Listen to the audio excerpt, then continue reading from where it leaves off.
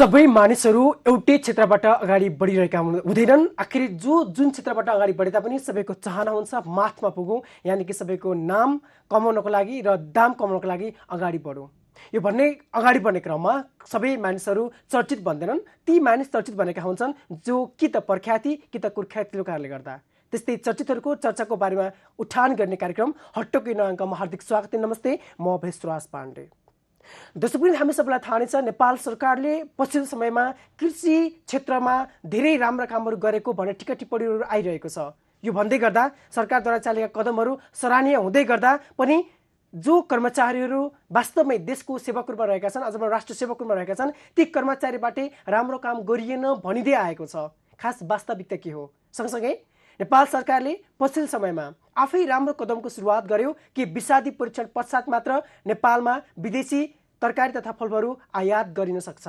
तर त्यो भनेको केही समयभित्रै यसबाट सरकार पछाडि हट्दा सरकारलाई विश्वास गर्ने आधार के? लगायतका प्रश्नमाथि छलफल गर्नको लागि आजको हटकमा मैले आमन्त्रण गरेको छु।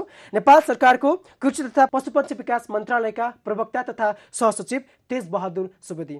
तेज सर हार्दिक स्वागत नमस्ते हटकमा। धन्यवाद लामो समयको प्रयासपछि आज हामी हटकमा सँगै छौँ। यति साह्रो व्यस्तता आखिरी यो अलिकति यो सिजन जुन छ हाम्रो खास गरेर म योजना तथा विकास सहायता समन्वय महाशाखा हेर्ने गर्छु र अहिले यो बजेटको बेला भएको हुनाले विगत केही समय अलिकति व्यस्त नै थिएँ। अब बजेट घोषणा भइसकेको छ।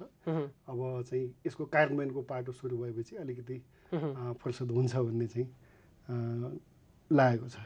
भनेपछि बजेटको कुरा गर्नुपर्दा अब पचहत्तर छिहत्तर सालको क्लोजिङ पनि भइसकेको छ र छिहत्तर सत्तरको अब कार्यान्वयनको पाटोमा अगाडि बढ्दै हुनुहुन्छ।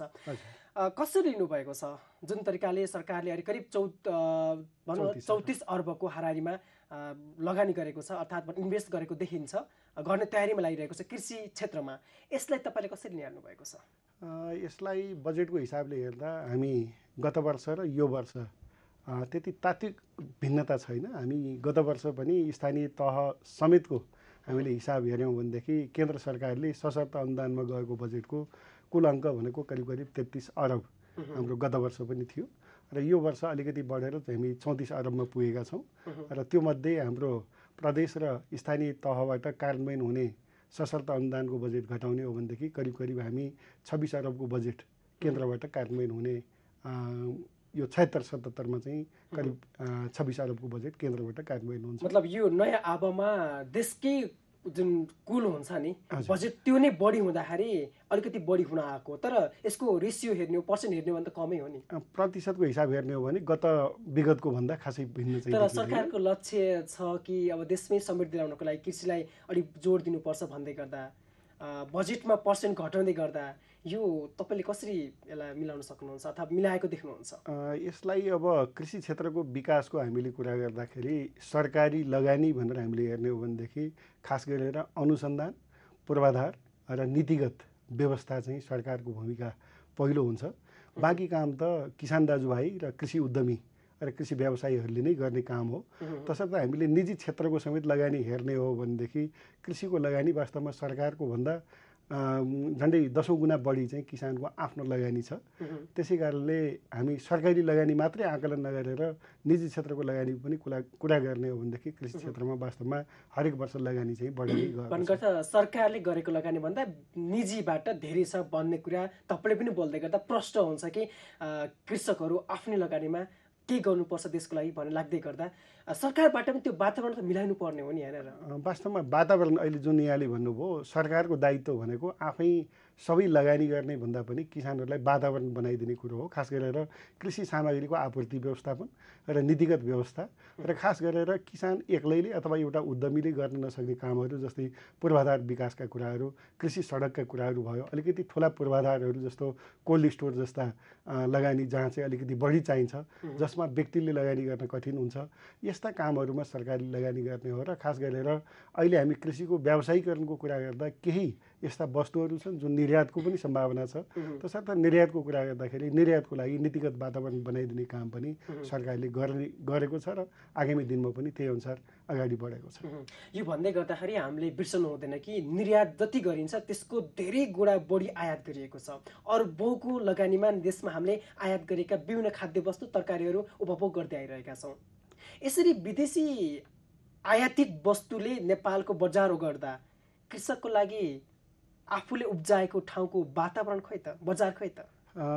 यहाँले एउटा राम्रो प्रश्न उठाउनु भएको छ तर हामीले बजारमुखी अर्थतन्त्रको कुरा गर्ने हो भनेदेखि हामी जब डब्लुटिओको सदस्यता हामी सदस्यमा प्रवेश गऱ्यौँ त्यो दिनदेखि नै हामीले हाम्रो बजार अरूको लागि खोल्यौँ भनेदेखि विश्व बजारमा पनि नेपालीको पहुँचको एउटा बाटो हामीले खोलेकै हो। तसर्थ यो आयात र निर्यातको कुरा गर्दाखेरि हामी आयात शून्य गर्ने अथवा निर्यात मात्रै बढाउने भन्यौँ भने पनि त्यो पनि एउटा व्यवहारिक हुँदैन। तसर्थ हाम्रो मुख्य उद्देश्य भनेको हाम्रो सम्भावना भएका बालीहरूको निर्यात गर्ने र हामी कहाँ चाहिँ प्रतिस्पर्धाको रूपमा हामी प्रत्यक्ष फाइदा हुन नसक्ने बालीहरू आयात गरेर कम मूल्यमा उपभोक्ताहरूलाई उपलब्ध गराउने हो। तर यहाँले जुन कुरा उठाउनु भएको छ आयात र निर्यातको जुन अन्तर हो त्यो घटाउनको लागि नेपाल सरकार खास गरेर कृषि तथा पशुपक्षी विकास लागेको छ। पर्वत एउटा कुरा बुझ्न मन लागेको डब्लुटिओको सदस्यता प्राप्त गर्नु भनेको आयात निर्यात मजाले गर्न पाउने भन्ने कुरा हो जहाँसम्म। त्यो भन्दैमा मन लागेका विषादी हालेका वस्तुहरूलाई ल्याएर आफ्ना नागरिकलाई खुवाउनु पर्छ भनेको त पक्कै होइन होला। यसलाई अलिकति सकारात्मक रूपले बुझिदिनु पर्ला। हामीले आयात गर्दाखेरि कुनै पनि गुणस्तरहीन वस्तुहरू आयात गर्नुपर्छ भन्ने हिसाबले हाम्रो बजार खोलेका होइनौँ। जब र? होइन त्यो भएको छ भन्ने भन्दा पनि त्यो नहोस् भनेर हाम्रो प्रयास हो र यसलाई चाहिँ त्यो भएको भन्ने भन्दा पनि त्यो नहुन दिनको लागि हाम्रो प्रयास भएको भन्ने चाहिँ त्यसरी बुझ्दा राम्रो होला। एउटा सत्यता के हो भने विगतका सरकारहरूले यो कुरा उठाउन सकेनन् जुन कुरा अहिले ओली सरकारले उठाएको छ र तपाईँहरू त्यो मातहतमा रहेर काम गर्ने कर्मचारीको नाताले होइन? स्वीकार्नै पर्छ कि विगतमा उठेका थिएनन् सवालहरू तर उठेका छन् र उठ्दै गर्दा जे उठेका छन् त्यो सत्य परक नै छन्। सायद त्यही भएर सर्वोच्च अदालतले सरकारको जुन कदम छ त्यसलाई पनि अस्वीकार गर्ने गरी अगाडि बढिरहेको छ। यो भन्दै गर्दा अब के? हामीले सरकारले भनेअनुसार मान्ने कि सर्वोच्च अदालतले भनेअनुसार मान्ने? यसमा थोरै एउटा म अलिकति प्रस्ट्याउन जरुरी ठान्छु। कतिपय कुराहरू स्पष्ट नहुँदाखेरि पनि हाम्रा दर्शक महानुभावहरू र उपभोक्ताहरूसँग अलिकति चाहिँ दुविधाको अवस्था म देख्छु। र हामीले म एउटा उदाहरण पनि जोड्न चाहन्छु। यही विषादी अवशेष विश्लेषणको लागि हामीले जब कालीमाटीमा विषादी अवशेष द्रुत विश्लेषण प्रयोगशाला सुरुवात गऱ्यौँ सुरुवातका दिनमा किसान दाजुभाइहरूले जानेर नजानेर हामीले आयात मात्रै होइन हामीले आन्तरिक उत्पादनको गुणस्तर नियन्त्रणको काम पहिलो थालनी गऱ्यौँ र सुरुको दिनमा किसान दाजुभाइहरूले नजानेर अथवा जानेर जुन चाहिँ विषादीको चाहिँ अनावश्यक प्रयोग गर्नुभएको थियो र अहिलेको हामीले हेऱ्यौँ भनेदेखि लगभग तिन हजार नमुना विश्लेषण गरेकोमा तिनवटा मापदण्डभन्दा कमका मापदण्डका पाइयो र जसमध्ये एउटा रातो वर्गको र दुईवटा पहेँलो वर्गका नमुनाहरू हामीले पाएका थियौँ। जुन मैले कुरा गरेँ कालीमाटी बजारको हामीले कुरा गर्दा। र यसले के देखाउँछ भन्दा हामीले जब यो विश्लेषणको सुरुवात गऱ्यौँ कि विषादीको प्रयोग गर्ने किसानहरू र कृषि उद्यमीहरू पनि त्यसमा चाहिँ सचेत भएका छन् र यसले हाम्रो त्यो जुन स्वास्थ्यमा प्रतिकूल असर पर्ने काम हो त्यसलाई निरुत्साहन गर्ने चाहिँ जमर्को गरेको छ। र अर्को जुन आयात र निर्यातको कुरा छ र हामीले कालीमाटी फलफुल तथा तरकारी बजार विकास समितिमा भारत लगायत विभिन्न देशहरूबाट आउने फलफुल तरकारीहरूको विश्लेषण गर्ने गरेका छौँ। र मैले अघि भने जुन तिनवटा मापदण्डभन्दा मुनिका नमुनाहरू थिए ती भारत होइन अथवा चाहिँ विदेशबाट होइन कि नेपालमै उत्पादित वस्तुहरू थिए। तर यो हामीले जाँच्नुपर्छ भनेर हाम्रो प्रयास के हो भनेदेखि जानेर नजानेर बाहिरबाट स्वास्थ्यमा प्रतिकूल असर पर्ने उपभोग्य वस्तुहरू चाहिँ प्रवेश गर्न नपाउन् भनेर त्यो सचेत गराउनको लागि यो प्रयासको थालनी भएको पर्वतज्यू तपाईँले जे भन्नुभयो एउटा सत्य कुरालाई अगाडि बढाउनु भएको छ कि हामी सबैभन्दा पहिला सजग हुनु जरुरी छ कि हामीले प्रयोग गर्दै गरेका मलहरू अथवा हामीले प्रयोग गर्ने केमिकलहरू वास्तवमा असर हामीलाई गरेको छ या छैन। अर्थात् हामीले उब्जाएका ती वस्तुहरूले अरूलाई असर गर्छ या गर्दैन। त्यो कुरा कृषक सामु पुर्याउनु उत्पादक सामु पुर्याउनु अत्यन्त आवश्यक छ। त्यो भन्दै गर्दा हामीले थाहा पाएकै कुरा र स्वीकार्नै पर्ने कुरा के छ भने नेपालको अस्सी प्रतिशतभन्दा बढी विदेशी आयातित वस्तुको भनौँ बजार छ। यहाँ के हेर्ने? नेपालकोलाई कडाइ गर्ने तर विदेशबाट ल्याउनेलाई सरकारले ल्याउन खोज्दा अथवा भनौँ ल्याउने क्रममा बन्द गर्न खोज्दा पनि पुनः फेरि अस्वीकार्ने होइन? अथवा त्योबाट पछाडि हट्ने कुरा अगाडि आउँदै गर्दा त हामीले त त्यो आफ्नो देशको नागरिकलाई मारमा पारेको जस्तो भएन र। अलिकति जुन अहिले वर्तमान परिप्रेक्ष्यको कुरा छ वास्तवमा संसारभरि नै खाद्य वस्तु लगायत तरकारी र फलफुल लगायतका खाद्य वस्तुहरू आयात निर्यात गर्दा आयात अनुमति लिनुपर्ने व्यवस्था छ। र नेपालमा पनि आयात अनुमति लिँदाखेरि जस्तो बाली अथवा बिरुवा र जन्य अथवा पशुजन्य वस्तुहरू आयात गर्दा हामी फाइटोसेन्टरी सर्टिफिकेट भन्छौँ त्यो आयातकर्ताले त्यो लिएर आउनुपर्ने हुन्छ। र निर्यात गर्दाखेरि पनि हामीले चाहिँ ती वस्तुहरू चाहिँ स्वस्थ छन् अथवा चाहिँ रोग र किराहरूबाट मुक्त छन् भनेर सर्टिफिकेट प्राप्त गरेपछि निर्यात गर्न सकिन्छ। यस्तै अन्य डिब्बाबन्द भएका अथवा प्रशोधित खाद्य वस्तुहरूको हकमा खाद्य प्रविधि तथा गुण नियन्त्रण विभागले आयात अनुमति दिने गर्छ र त्यो आयात अनुमति दिने बेला भने ती वस्तुहरू स्वस्थकर छन् भने एउटा यकिन गरेपछि मात्रै आयात अनुमति उहाँहरूले पाउनुहुन्छ। र अहिले हामीले जुन सुरुवात गऱ्यौँ हरेक कन्साइनमेन्ट अथवा हरेक सामग्री लोड भएका गाडीहरूमा परीक्षण गर्ने भनेर हामीले जुन थालनी गऱ्यौँ त्यो एउटा अलिकति चाहिँ भन त बढी समय लाग्ने र कृषि यो उद्यमीहरूलाई चाहिँ आयात निर्यातकर्ता उद्यमीहरूलाई चाहिँ हामीलाई यो व्यवहारिक भएन भनेर उहाँहरूको जुन गुनासो आयो र त्यो गुनासो आइसकेपछि हामीले भारत लगायत विदेशबाट आयात हुने तरकारी फलफुल र अन्य खाद्य वस्तुहरूको हकमा स्वस्थकर प्रमाणपत्र उहाँहरूले ल्याएको अनिवार्य हुनु पर्यो र त्यो स्वस्थ प्रमाणपत्र भएको चिजहरूमा पनि हामीले ऱ्यान्डमली अथवा चाहिँ आवश्यकता अनुसार चाहिँ ऱ्यान्डमली त्यसको परीक्षण गर्ने र यदि कुनै कैफियत पाइयो भनेदेखि अहिले पनि त्यसको जफत गर्ने काम चाहिँ हामीले छोटकरीमा टु द पोइन्ट गर्नु भन्नुपर्दा सरकार पछाडि त हटेकै हो नि। यसलाई पछि हटेको भन्नुभन्दा पनि त्यसलाई व्यावहारिक रूपमा हाम्रो क्षमता विकास र सँगसँगै गरेर लैजानुपर्छ र हामी अहिले भन्सार यो जोड्न किन खोजा हो भने सरकारले यस्तो मजाको निर्णय गरे कि साँच्चै देशमा समृद्धि पक्कै आउँछ सुखी नेपाली हुन्छन् भन्दै गर्दा तिनै बिचौलियाहरूले सरकारले नचाइदियो सरकारलाई पैसा दियो अर्थात् त्यो विषय त्यो ठाउँमा रहेर काम गर्ने कर्मचारीहरूलाई बिचौलियाहरूले किने भन्ने जुन आरोप आम सञ्चार माध्यमले छापिरहेका छन् प्रसारण गरिरहेका छन् नि। यसलाई तपाईँ एउटा प्रवक्ताको नाताले अझ विशेष गरी जुन विषय मन्त्रालयसँग जोडिएको छ त्यही मन्त्रालय यानि कि कृषि तथा पशुपति विकास मन्त्रालयको प्रवक्ताको नाताले बोल्नु पर्दा के भन्नुहुन्छ? मैले अघि पनि राखेको थिएँ हरेक कन्साइनमेन्ट अथवा हरेक खाद्य वस्तुहरू लोड भएर आएका ट्रकहरूबाट नमुना सङ्कलन गरेर विश्लेषण गर्ने र अ, विश्लेषण पश्चात मात्रै आयात गर्न दिने हो भनेदेखि त्यो अलिकति अव्यवहारिक पनि हुन्छ। र विश्वभरि नै यो चाहिँ के भनेदेखि शङ्का लागेमा परीक्षण गर्ने एउटा प्रावधान छ र अर्को कुरा हामीले भन्सार नाकामा नै परीक्षण गर्ने भनेर जुन कुरा हामीले सुरुवात गऱ्यौँ वास्तवमा भन्सार नाकामा हाम्रा ती सुविधाहरू थिएनन्। जस्तो पूर्वको कुरा गऱ्यौँ भने हामीसँग विराटनगरमा छ ए बिर्ता मोडमा छ झापाबाट काकरभिटा भएर आउने वस्तुहरू हामी त्यो नाकामा परीक्षण गर्न सक्छौँ। भैरवाबाट आउने चिजहरूलाई हामी बुढोलमा जाँच गर्न सक्छौँ। भन्ने गर्दा हामीसँग पूर्वाधार नहुँदा नहुँदै सरकार अलिकति अगाडि बढ्न खोजेको भन्ने कुरा प्रष्ट भयो तपाईँ बोल्दै गर्दा तर यो कुरा अलिकति केमिस्टहरूले के भन्छन् भने रसायनशास्त्रीहरूले के भन्छन् भने हामीसँग त्यो क्यापाबिलिटी छ। हामी चेक गर्न सक्छौँ तर सरकारले हामीलाई वास्ता नै गर्दैन। हामी फिल्डमा गएर काम गर्छौँ भन्दै गर्दा पनि व्यवस्थाको पात्र बनाइयो जसले गर्दा सरकारको यति राम्रो कदममा साथ हामीले दिँदै पनि सरकार पछाडि पर्नु परेको हो भन्छन् नि। यो सत्य हो कि होइन? र मैले मतलब कर्मचारी अथवा दक्ष जनशक्तिको अभाव हो कि होइन? दक्ष जनशक्ति हामीलाई जति चाहिने हो हामीले यो जुन हाम्रो यो विषादी अवशेष द्रुत विश्लेषण प्रयोगशालाको इतिहास हेर्नुभयो भने हामी चार वर्ष जति भयो यसको सुरुवात गरेको। र अहिले हामी न्यून जनशक्ति र न्यून साधन स्रोतबाट त्यसको उपयोगमा ल्याइरहेको अवस्था हो। र यी भन्सार नाकामा छैनन् र भन्सारभन्दा केही भित्र छन्। र त्यसै कारणले हामी भन्सार नाकामा जानको लागि चाहिँ केही पूर्वाधारदेखि लिएर जनशक्तिको अभाव भएको हो र अहिले जुन सरकारको पछिल्लो निर्णय छ त्यो कार्यान्वयनबाट पछि हट्ने भन्दा पनि कार्यान्वयन गर्नको लागि पूर्व तयारी गर्ने र भन्सार नाकामा नै ती सुविधाहरू स्थापना भएपछि क्रमशः यो निर्णय लागू गर्ने भन्ने चाहिँ सरकारको धारणा हो। सँगसँगै सर्वोच्च अदालतले बुधबार भनिसकेको छ कि सरकारले जुन तरिकाले कदम चालेर विषादी परीक्षण बिना नै आयात गर्न सकिने एउटा मापदण्डलाई फेरि फुकुवा गरेको थियो। यो अमान्य छ भन्दै गर्दा अब त तपाईँहरू बाध्यात्मक अवस्थामा आइपुग्नु भयो नि। जसरी पनि गर्नै पर्ने अवस्थामा आइपुग्यो नि। र यसलाई यसको सुरुवात अब कहिलेदेखि होला? यसलाई मैले थप प्रस्ट्याउन के चाहेँ भनेदेखि हामीले कुनै पनि वास्तु नेपालभित्र लिँदा त्यो स्वास्थ्यको लागि प्रतिकूल असर नपर्ने भन्ने सर्टिफिकेट उहाँहरूले ल्याएर आउनुपर्छ। र हामीलाई शङ्का लाग्यो भने अहिले पनि हामी ऱ्यान्डमली कुनै कन्साइनमेन्ट अथवा कुनै गाडीबाट नमुना सङ्कलन गरेर जाँच्न हामी सक्छौँ र त्यो अहिले भइ पनि राखेको छ।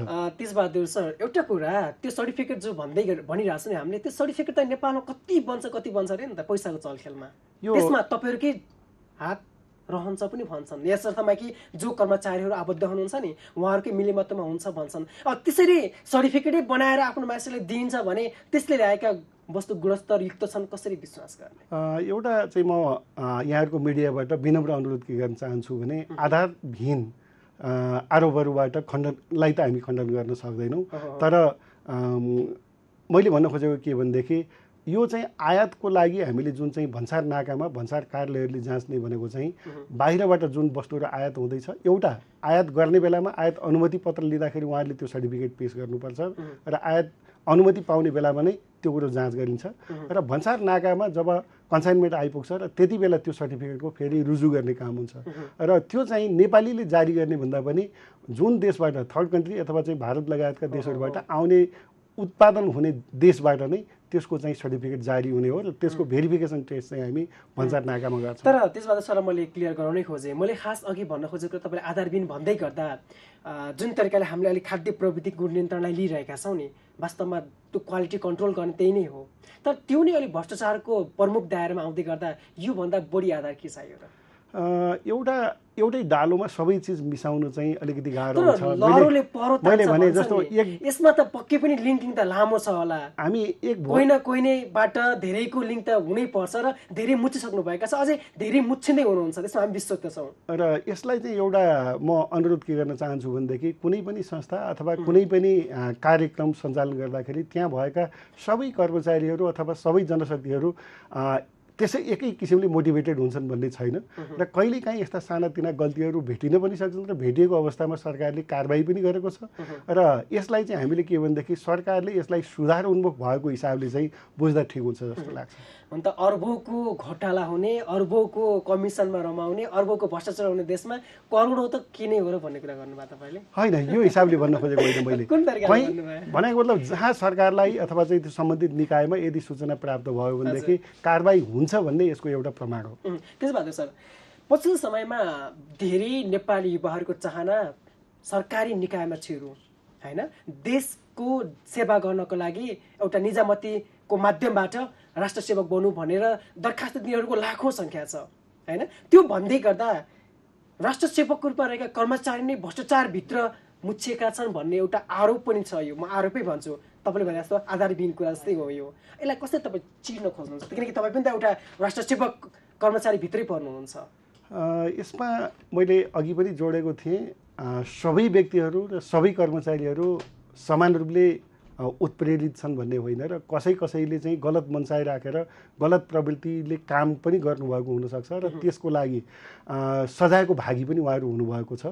तर मलाई लाग्छ अहिले हामी जब नेपाल सरकारले यो समयको गतिसँगै विभिन्न नियमन निकायहरू पनि राखेको छ जस्तो हामी सम्पत्ति शुद्धिकरण आयोगको कुरा छ त्यस्तै हामी अख्तियार दुरुपयोग अनुसन्धान आयोग छ यस्तै हामी सचेतना केन्द्रहरू छन् यी विभिन्न निकायहरूबाट नियमनको काम पनि हामीले सँगसँगै लगेका छौँ। त्यसै कारणले यो सुधार उन्मुख छ त्यसै कारणले हामी आगामी दिनमा यी कुराहरू न्यून भएर जान्छन् भनेर अपेक्षा गर्नु चाहिँ राम्रो होला कति। राम्रो छ क्या देशको संरचना हेर्दा। यति रमाइलो छ नि प्रत्येकको लागि चेक गर्ने काउन्टर निकाय छ कि। तर कस्तो भइदियो भने जो मानिस चोर पक्राउनको लागि खटाइएको छ नि त्यो नै चोर भइदिन्छ यहाँनिर होइन? जो भ्रष्टाचार नियन्त्रण गर्नको लागि खटाइन्छ त्यो नै भ्रष्टाचारी भइदिन्छ यहाँनिर। अब योभन्दा बढी के भन्नु? मैले अघि पनि अनुरोध गरेँ। सबैलाई एउटै डालोमा हाल्न मिल्दैन तपाईँको भनाइ। म जोडिहालेँ। भनेपछि यसबाट तथा पशुपन्छी विकास मन्त्रालयका प्रवक्ता तेजबहादुर सुवेदी मुच्छिनु पनि भएको छैन मुच्छुनी पनि हुने छैन। होइन त्यो म ढुक्क भएर यहाँलाई भन्न चाहन्छु कि। एउटा योजना महाशाखाको प्रमुख भएको नाताले र एउटा अब एउटा सेवानिवृत्त जीवनतर्फ उन्मुख भएको कर्मचारी र एउटा त्यो हिसाबले पनि मैले आफ्नो नियमित नियमअनुसारको चाहिँ धर्म निर्वाह गर्नुपर्छ र मेरो त्यो प्रतिबद्धता पनि रहन्छ।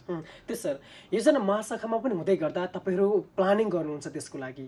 अब त्यसमा यस्तो गर्नुपर्छ। अझ विशेष गरी हामी कृषिकै कुरा गर्दै गर्दा अथवा कृषि मन्त्रालयमै रहँदै गर्दा कृषिमा यसो गर्न सक्यो भने यसो हुन्छ भन्दै गर्दा एउटा गुनासो भनौँ कि यो माथिल्लो लेभलकोले बुझ्न नसकेको भन्ने कुरा एउटा जोडिएको छ यो वन र कृषिमा होइन? यस्तो जडीबुटीका कुराहरू छन्। कुनै निकायले सरकार भनौँ न वनतिर पनि भन्ने अथवा कृषितिर पनि भन्ने अथवा दुवैले मेरो होइन भन्ने जस्तो पनि कुराकानी हुँदै गर्दा यो यसलाई अलिकति कसरी तपाईँले नीति नियममा पुर्याउन सक्नुहुन्छ अथवा यो बारे सोच्नु भएको छ कि छैन के भन्नुहुन्छ? विगतदेखि नै वास्तवमा यो एउटा ठुलो मुद्दाको रूपमा रहेको थियो। वास्तवमा वन क्षेत्रमा हामीले के गर्यौँ त भन्दा उपयोग वैज्ञानिक उपयोगभन्दा पनि हामी संरक्षणमा बढी जोड दियौँ अथवा नियमनमा बढी जोड दियौँ। र कृषि क्षेत्रमा पनि हामी के गर्यौँ त भन्दा कृषि कृषि त भन्यौँ तर कृषिको व्यावसायीकरण र कृषिको दिगोपनाको लागि वन पैदावारमै हामी निर्भर हुन्छौँ। त्यसै कारणले यो कृषि र वनलाई कसरी सँगै लिएर जाने र कृषि र वनको वैज्ञानिक उपयोगबाट समृद्ध अथवा नेपाललाई चाहिँ समृद्ध देश बनाउन सकिन्छ भनेर अहिले हालसालै मात्रै नेपाल सरकारले कृषि तथा पशुपन्छी विकास मन्त्रालय र वन तथा वातावरण मन्त्रालयको साझेदारीमा हामीले कृषि वन नीति भर्खरै दुई हजार छिहत्तर जारी गरेका छौँ र मलाई लाग्छ त्यो नीति अन्तर्गत रहेर आगामी दिनहरूमा हैसियत बिग्रेका वनहरूलाई कृषिको उपयोगमा ल्याउने र बाँझो रहेका कृषिका जमिनहरू अथवा चाहिँ खेर गएका जमिनहरूमा वृक्षारोपणका कार्यक्रम लगायतका यसरी वैज्ञानिक उपयोगमा हामी जोड दिने कुरा कहाँनिर आएको छ भने अलिकति दुःख लाग्दो कुरा कहाँ कहाँनिर आएको छ भने पछिल्लो समयमा जडीबुटी व्यवसाय गरेर आम्दानी कमाउनेहरूको सङ्ख्या बढ्ने क्रममा छ इच्छुकहरू बढी हुनुहुन्छ। त्यो भन्दै गर्दा सहजता रहन्छ नीति नियममा होइन? त्यसलाई भनौँ न वनमा राखेको कारणले गर्दाखेरि घरमा रोपिन्छ बारीमा ल्याएर रोपिन्छ तपाईँ वनमा इन्क्लुड गरेको कारणले गर्दाखेरि त्यसलाई सजिलै आयात निर्यात गर्न सकिने बेचबिखन गर्न सकिने जसले गर्दा त्यो व्यवसायहरू मारमा परेको भन्ने गुनासो आउँदै गर्दा यो सत्य त पक्कै होला। र यसमा यसलाई समाधान गर्ने प्रयास गर्छ यो नीतिले? यसमा यो नियन्त्रण गर्ने अथवा नियमन गर्ने साधन स्रोतको अभावमा पनि हिजो केही कठिन थियो। आज हामी आधुनिक यो सञ्चार प्रविधिहरूको प्रयोग गरेर आज जङ्गलमा कतिवटा बोटहरू छन्। भनेर पनि गन्न सकिने अवस्था इन्डिभिजुअल रुख अथवा हरेक रुखको एउटा पहिचान दिन सकिने अवस्था आएको छ। त्यस्तै जस्तो कुनै वस्तु उत्पादन भयो भने त्यो कुन गाउँमा कुन ठाउँमा उत्पादन भएको भन्ने कुरा पनि हामी आधुनिक सूचना प्रविधिबाट त्यो यकिन गर्न सक्ने अवस्थामा छौँ। मैले अघि पनि भने अहिले यो कृषि वन नीति जुन आएको छ यो आइसकेपछि अब हाम्रा हाल सञ्चालनमा रहेका ऐन नियम र कानुनहरूमा पनि समसामयिक सुधार गरेर हामी कृषि र वनलाई सँगै लिएर जाने र वन पैदावारहरू चाहिँ को उपयोग गरेर जनताको जीवनस्तर सुधार गर्न सकिन्छ र कृषि क्षेत्रमा पनि वृक्षारोपण गरेर हरियाली बढाउन सकिन्छ भन्ने सोच अनुसार हामी अगाडि बढेका छौँ। आशा गरौँ जुन कृषि नीति अथवा वन नीति जोडेर ल्याइँदैछ यसले पक्कै पनि जुन समस्याहरू अल्झिरहेका थिए बल्झिरहेका थिए तिनीहरूलाई सुल्झाउने प्रयास गर्नेछ। कार्यक्रम हट्टको अन्त्यमा प्रवक्ताज्यू जुन तरिकाले करिब चौतिस अर्बको सङ्घीय बजेट आउँदै गर्दा होइन? यसको कार्यान्वयनलाई कसरी पूर्व अनुमान लगाउन सकिएला? यो यो कुरा त खास हामी अन्तिममा गर्नुपर्ने हो। तथापि पूर्व अनुमान गर्नुपर्दा के भन्नुहुन्छ? गएको सालभन्दा अलिकति बढी नै कार्यान्वयन हुने हो कि? कि गएको साल जस्तै असारमा मात्रै भनौँ न लाखौँ दुई खर्बको एकै दिनमा भयो भन्ने जुन समाचार आएको छ कतिसम्म सत्य सत्य हेर्नुपर्ने हुन्छ होइन? त्यस्तो खालको अवस्था हुने हो। के लाग्छ? अहिले हामी यो चालु आर्थिक वर्ष अथवा छिहत्तर सतहत्तरको बजेट कार्यान्वयनको लागि विगतमा हामी नयाँ कार्यक्रम आउ आउँदाखेरि कार्यविधि तयार गर्ने र त्यसको सुरुवाती चरणमा हामी धेरै समय खर्च गर्थ्यौँ। तर अहिले हामी लगभग सबैजसो नयाँ कार्यक्रमहरूलाई समेटेर कार्यान्वयन गर्नको लागि एकीकृत यो कार्यविधि तयार गरिसकेका छौँ र हामी यो मन्त्री परिषदबाट स्वीकृत गराउने तयारीमा छौँ र मलाई लाग्छ यो कार्यविधि आएपछि हाम्रा कार्यविधिमा लाग्ने समय एउटा हामी त्यो छुट्याउन गइरहेका छौँ। र अर्को कुरा भनेको हिजो हामी यो सङ्घीय व्यवस्था। लागू भइसकेपछि स्थानीय सरकार प्रदेश सरकार र केन्द्र सरकारको बिचमा अलिकति अन्यलता पनि थियो र खास गरेर कर्मचारी व्यवस्थापनले हामीलाई केही अप्ठ्यारो पर्यो र अहिले लगभग त्यो समस्या सल्टिसकेको छ र आगामी आर्थिक वर्षमा त्यो कुनै ठुलो चाहिँ मुद्दा रहने छैन। त्यसै कारणले यी दुईवटा तयारीले गर्दाखेरि हामी बजेट कार्यान्वयन समयमै गर्न सक्छौँ भन्ने चाहिँ हाम्रो अपेक्षा छ। भनेपछि कार्यक्रम हट्टकबाट हामी यो अपेक्षा गरौँ कि हामी आज भनौँ न वास्तवमा सुरुवातकै दिनमा छौँ भन्दा पनि सकिन्छ होइन। यहाँबाट हेर्न हेर्नु पर्दा होइन आउने वर्षको जुन बजेट छ त्यसलाई विभिन्न इन्टरभल अफ टाइममा सही तरिकाले प्रयोग गरियोस् ताकि असारमै मात्र खर्च गर्ने खालको व्यवस्था हटोस्। हामी त्यो कामना गर्दै कार्यक्रम हट्टकमा आइदिनु भयो विशेष धन्यवाद दिन चाहे। धन्यवाद यहाँहरूलाई पनि। यहाँको मिडियाबाट आफ्नो भनाइ राख्ने जुन मौका दिनुभयो। हस्। आदरणीय दर्शकबिन तपाईँ हामी सबैलाई थाहा नै छ हामी जहाँ छौँ जे गर्दैछौँ हामी साँचो तरिकाले सत्कर्ममा लागेका छौँ भने कसैबाट डराउनु पर्दैन। त्यो भन्दै गर्दा हामीलाई हेर्ने हामीलाई सहायता दिने र हाम्रो लागि नीति नियम बनाउनेहरूले के गरिरहेका छन् त? के साँच्चीकै ती नीति नियम हाम्रो लागि छन् त? के साँच्चीकै देशको समृद्धिको लागि छन् त? त्यसलाई पनि निहाल्नु पर्ने जरुरत हुन थालिसकेको छ। अझ भनौँ बजेटका कुरा गर्दै गर्दा के साँच्चै के हाम्रो निकायमा आएको बजेट सही ठाउँमा प्रयोग भएको छ त? जेको लागि आयो त्यसैको लागि प्रयोग भएको छ त? यो पनि जान्नु बुझ्नु तपाईँ हामी सबैको कर्तव्य हो। हामी सबैको अधिकार हो। यसलाई प्रयोग गर्दै अगाडि बढ्ने भने सायद सुखी नेपाली र समृद्ध नेपाल सरकारको जुन एउटा अवधारणा छ यो पक्कै पनि मिट गर्छ। यो भन्दै तपाईँ सम्पूर्ण दर्शकको शुभकामना श्री शुभपलको कामना गर्दै म भेषराज पण्डे बिदा हुन चाहन्छु। हेर्दै गर्नुहोस्।